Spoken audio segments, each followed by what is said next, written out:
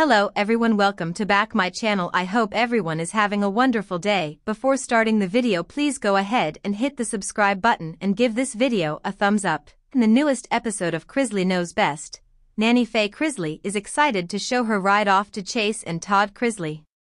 To set the scene, Todd is leaning on a bike and Chase is standing nearby with what looks like a picnic basket. Nanny Faye is on a bicycle behind him and says, How do you like my hog? The hog in question is actually just a yellow bicycle with a wire basket on the back. Todd asks her if she knows another 77-year-old who acts like her.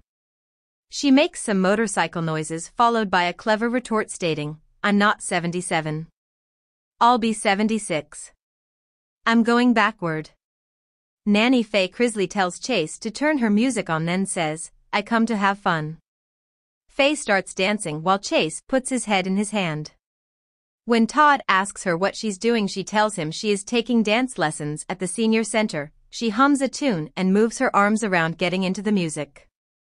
Chase thinks she's more hyped up than usual. He asks her if she's on mushrooms. Without missing a beat she says she needs something stronger. Picking up on the dance she's trying to do, Todd tries to show her. He says, Mama just so you know, it's clearly conga dancing. The best part of the whole scene is that Todd and Chase are on a tandem bike. Chase keeps his feet up and makes Todd do all the work. Nanny is pedaling way behind them telling them to wait, Nanny Faye Chrisley's fans watch the show purely to enjoy her. They never know what she's going to say. One said, this woman is pure gold. Another said, Nanny Faye is the world's best nanny. A third said, she needs her own show. Later in the episode, she convinces Chase to go to the racetrack to place bets. Nanny has decided Chase has an energy problem after he loses betting with her repeatedly making him unlucky. She tells him they are going to turn his luck around then asks the owner which horse would be good to bet on.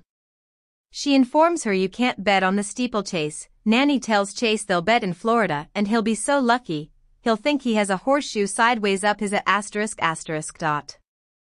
Later they bet on hermit crab races on a boat, Nanny Faye knows how to have fun and doesn't care what anyone thinks. That's why fans identify with her so much. What do you think about Nanny Faye's hog? Comment with your thoughts down below. Thanks for watching this video and please subscribe our America People News YouTube channel for more update news.